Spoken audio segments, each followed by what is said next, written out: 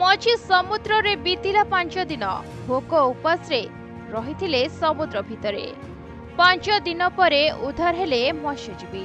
ତେବେ ବଞ୍ଚିବାର ଆଶା ଟିକକ ଲାଗି ଆଜି ସେ ନୂଆ ଜୀବନ ପାଇଥିବା କୁହାଯାଉଛି।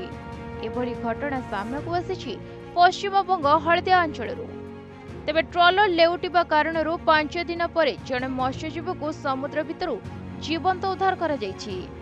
ବାଂଲାଦେଶର ଏକ ଜାହାଜ ଏମ୍ଭି ଜବାଦେର ସମ୍ପୃକ୍ତ ମତ୍ସ୍ୟଜୀବୀକୁ ଉଦ୍ଧାର କରିଛି ସମୁଦ୍ରରେ ଭାସୁଥିବା ବେଳେ ତାଙ୍କୁ ଲାଇଫ୍ ଜ୍ୟାକେଟ୍ ପିନ୍ଧାଇ ଏକ କ୍ରେନ୍ ସାହାଯ୍ୟରେ ଉଦ୍ଧାର କରାଯାଇଛି ତେବେ ଉଦ୍ଧାର ମତ୍ସ୍ୟଜୀବୀଙ୍କର ନାଁ ରବୀନ୍ଦ୍ରନାଥ ଦାସ ତାଙ୍କ ଘର ଦକ୍ଷିଣ ଚବିଶ ପ୍ରଗଣା ଅଞ୍ଚଳରେ ଗତ ଆଠ ଦିନ ତଳେ ସେ ଏବଂ ତାଙ୍କର ପନ୍ଦର ଜଣ ସାଥୀ ଏକ ଟ୍ରଲର ଯୋଗେ ସମୁଦ୍ରକୁ ମାଛ ଧରିବାକୁ ଯାଇଥିଲେ ମାତ୍ର ଏକ ସାମୁଦ୍ରିକ ଝଡ଼ରେ ଟ୍ରଲର ଲେଉଟିବା ପରେ ସମସ୍ତେ ଏଣେତେଣେ ଭାସି ଯାଇଥିଲେ।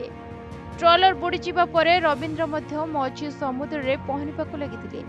ପରେ ନିଜ ପକେଟରେ ଥିବା ଲାଇଫ୍ ଜ୍ୟାକେଟ୍ ପିନ୍ଧି ସେ ସମୁଦ୍ରରେ ଭାସିବାକୁ ଲାଗିଥିଲେ।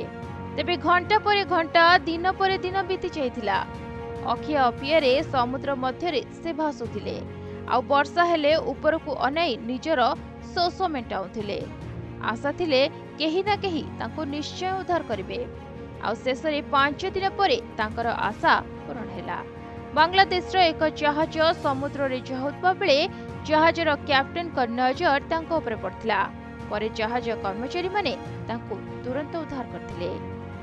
ରିପୋର୍ଟ ପ୍ରତିଦିନ ଟିଭି।